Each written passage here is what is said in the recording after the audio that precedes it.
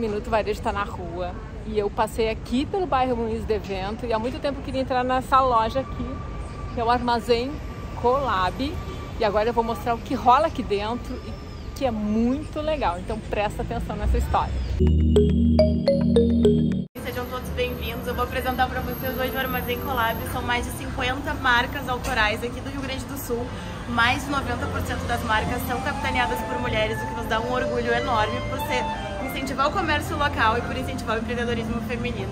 O que, que tem aqui dentro? Como é que surge costuras criativas, cachaças artesanais, velas vegetais, almofadinhas. A gente tem um mundo de possibilidades. A loja ela foi feita, ela foi pensada pela Thaís Fontoura. Decidiu mudar a vida dela. E como nós já fazíamos parte aqui do espaço como marcas, a gente foi convidada para seguir administrando a loja, o que foi um grande desafio, mas ao mesmo tempo um orgulho enorme. A loja acaba tendo tanta marca legal, tanto produto autoral bacana, com um objetivo que se torna uma referência de presente. Todo mundo se lembrar que aqui tem uma coisinha feita com todo amor, com todo carinho, com marcas com propósito, que fizeram aquele produto super pensado por famílias que criam uma forma toda especial. Então a gente tem bastante experiência de rua e consegue de tratamento com cliente, desenvolvimento de produto e a gente consegue passar para essas marcas que estão começando. Sempre faz uma curadoria, curadoria dos produtos para que seja um produto diferenciado, um produto de qualidade e um produto artesanal ou autoral. Os espaços eles são comercializados através de locação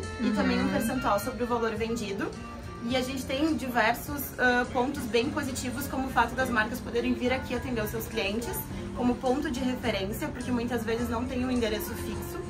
E, e também para comercializar direto aqui na frente da loja de segunda a sexta a gente tem esse espaço. E a exposição que a Camila tá fazendo aqui. Isso é o dia da Camila, ela veio trazer todos os produtos que ela tem. A Camila. A Borrifa então é uma marca de aromatizadores de ambiente. Todo o material é produzido à mão.